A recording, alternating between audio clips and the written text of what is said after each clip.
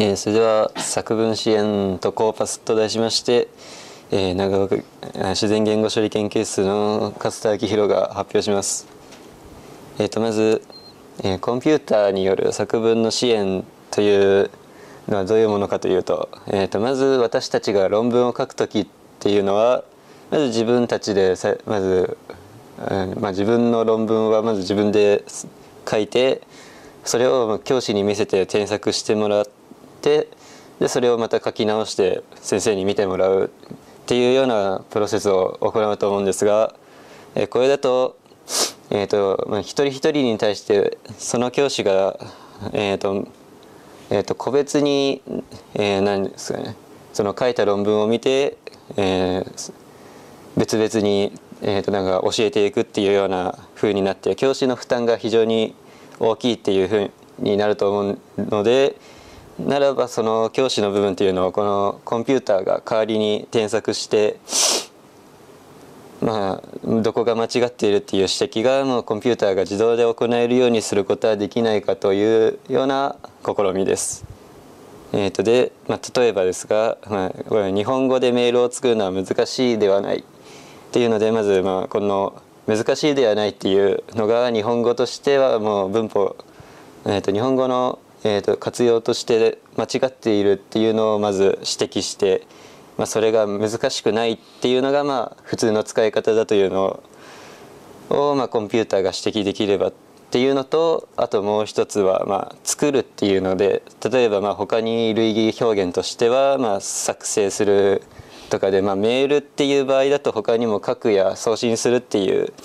ような、まあ、選択肢もあるっていうので。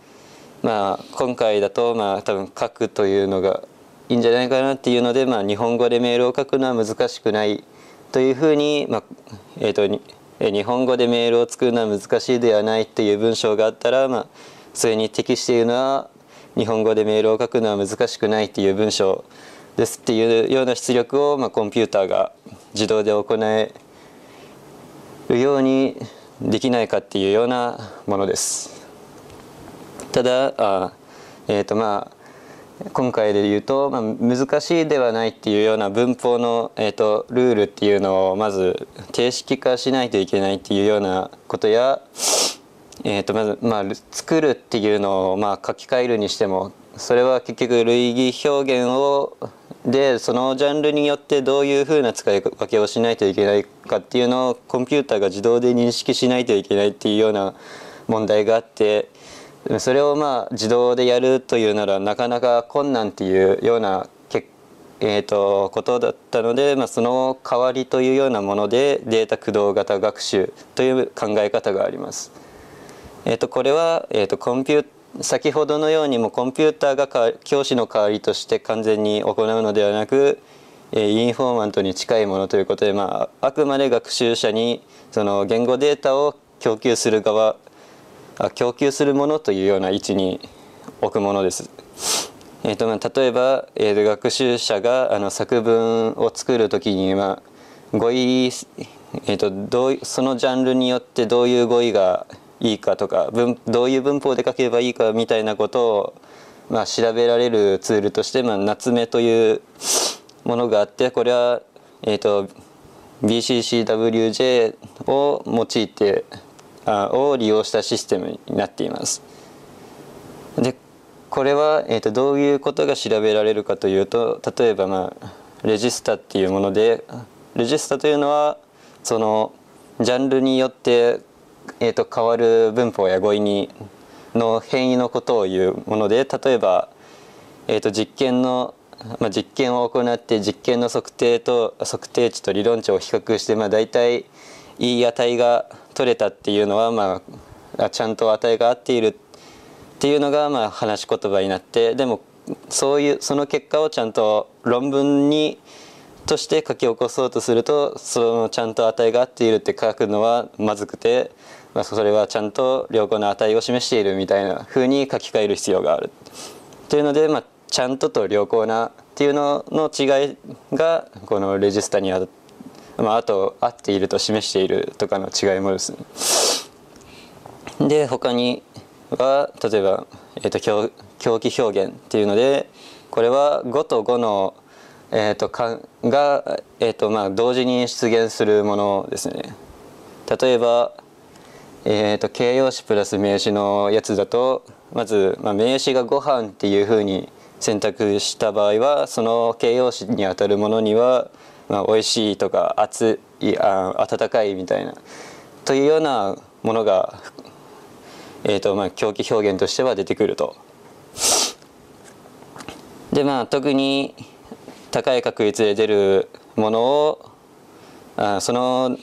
コロケーションというようなふうに呼んで、まあ、高く出るってことはそのジャンルジャンルで、まあ、高く出るっていうのは多分それが適しているというふうに判断することができるんじゃないかと思います。ただあまあそうですねで例えば暖かいと暑いっていうのは意味的には似ているのでこれの使い分けとかを、まあ、夏目を使って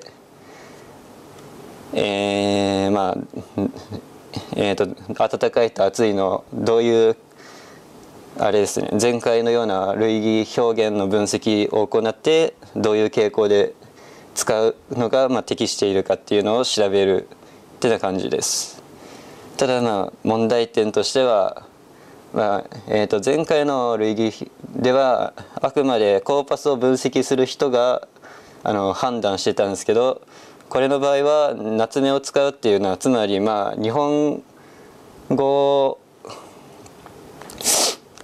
の、えーとまあ、日本語で書くという場合はその日本あそれ結局自分で書く時にそれを使って調べるってことなのであ日本語の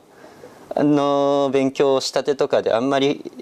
えーと慣れていない人などに対してはその夏目を使ったとしてもそもそも日本語でそういう評価とかができない段階であるとそのジャンル分けをしでによる傾向などを調べることができないっていったことやでそのその夏目のコーパスですが、まあ、使い分けをしようとするとそれのジャンルによる分類をするっていうのが、